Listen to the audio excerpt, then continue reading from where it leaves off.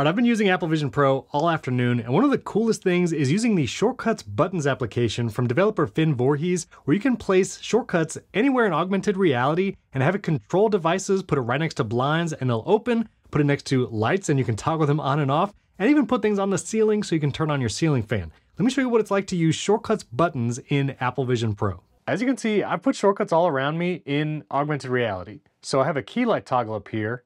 If I look at it and tap my fingers, it'll actually toggle this key light right above me. And if I press it again, it'll run the shortcut and toggle it back on. I have another one down here. Let's say I was making some tea.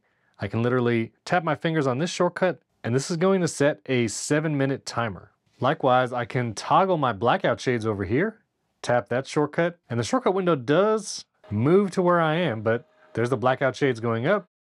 I'll tap it again and toggle it down. I can literally put buttons wherever I want them to control either my HomeKit devices or just run shortcuts anywhere. I even put a shortcut by my ceiling fan, so when I run that shortcut, my ceiling fan turns on, and if I toggle it again, my ceiling fan turns off. I even have a toggle over here for filming color. So if I run this shortcut, it's actually going to show me a menu asking me what color I want to film in. I'll tap orange, and now everything around me is orange. It's my filming color. I could tap it again. I'll go to purple and you can see everything changes purple. And this shortcut is controlling my entire studio here in Apple Vision Pro. Here I'll go teal and now we're on teal. All of this is using the Shortcuts Buttons application from Finn Voorhees. So to make it a little easier to capture what this looks like, I'm gonna go into an immersive landscape here. And this is actually the Shortcuts application in Apple Vision Pro. It's pretty full featured. I can X out of it for a second. I'll bring up my applications and this is one of the applications running in compatibility mode. So I'll go to compatible apps, open shortcuts, and it did sync all of the shortcuts that I have across all my Apple devices. I can close the sidebar just by looking and tapping. And these are some shortcuts I set up specifically for Apple Vision Pro. So filming color, if I open that shortcut, it looks just like shortcuts on your iPad or your Mac. I'm choosing from a menu, and in each menu option, I'm setting a HomeKit scene to film in a specific color. And this is, of course, controlling all my studio devices. Likewise, for all my toggle shortcuts, I can open those and you'll see that I can toggle my blackout shades. And for all of these, I have if statements. I'll actually link a shortcuts video of mine above and in the video description where I talk about setting up these kinds of toggling shortcuts so you can have one control to toggle something on and off. You can even turn on Apple TVs and set a scene in your home. And because shortcuts buttons lets you place them anywhere in augmented reality, you can put these shortcuts exactly where you want them. So if I go out of the immersive experience, that's why I can put this button right by my blackout shades and even that button by my ceiling fan to toggle that precise device. So I'm gonna move this window aside and I'll show you the Shortcuts button application. I'll link this application down in the video description as well. It's a little weird, doesn't always let you see it on the website. You see kind of all your shortcuts, they might reposition. And so sometimes I have to move them back to where I wanted them, but I'll move them around. And when you want to build a new shortcut, you hit the plus button. Then this menu comes up. Now you can't just choose one of your shortcuts from your shortcuts library here in the shortcuts buttons application. You just have to name it exactly what the shortcut is named in your shortcuts library.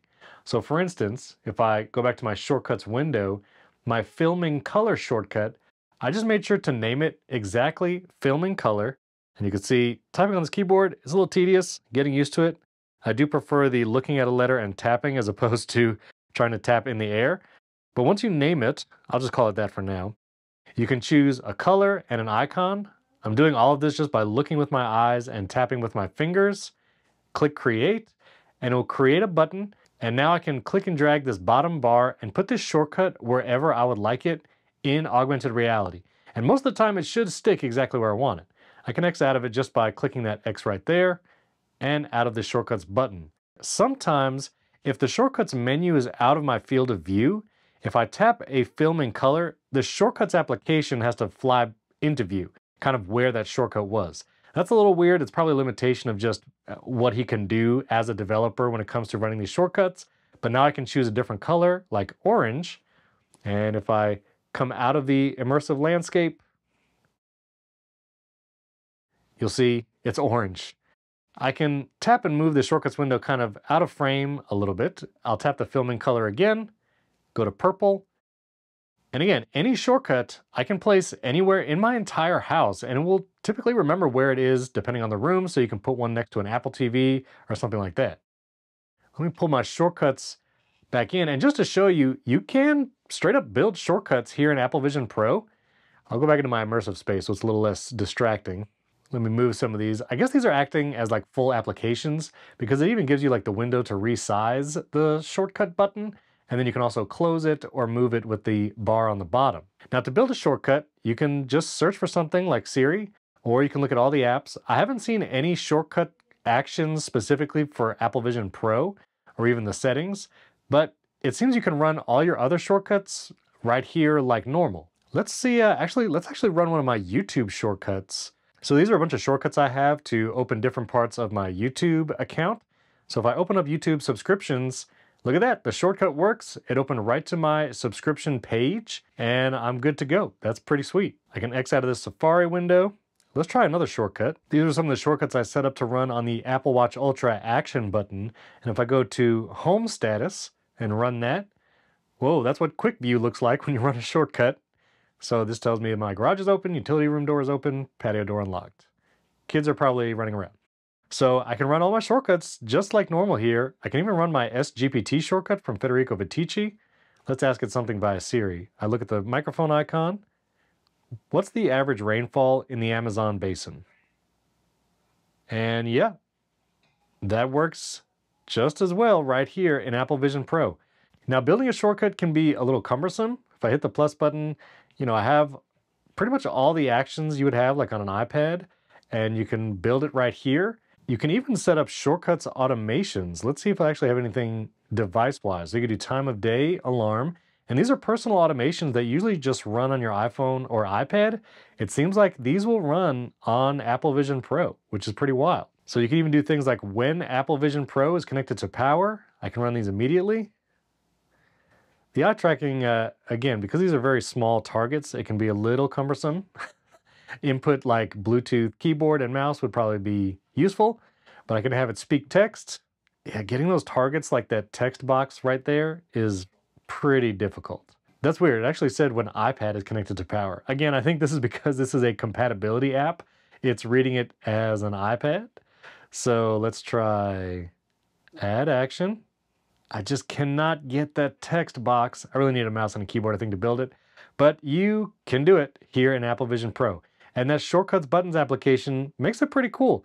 I'm going to leave these shortcuts around. So if I go out of the immersive landscape, let me go back over to my Shortcuts Buttons application.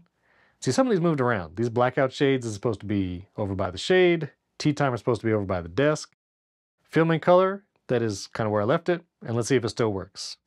It still has to open shortcuts first, and then I can run it, but pretty cool. Pretty cool that this is the thing, and it kind of works. Again, shows the possibility of using augmented reality in Apple Vision Pro, and that's pretty cool. So that's shortcuts buttons, and there's still a lot to talk about with Apple Vision Pro, so get subscribed. I have several videos coming out just over the next few days and in the coming weeks. But let me know what questions you have about Apple Vision Pro. Drop them in the comments below, hit that like button, and I have a lot of thoughts. I'm going to reserve some because I need to try it for a few more hours, maybe a couple days before I do like an impressions or anything close to a review, but it is coming. So like I said, subscribe, bell icon, all that kind of stuff.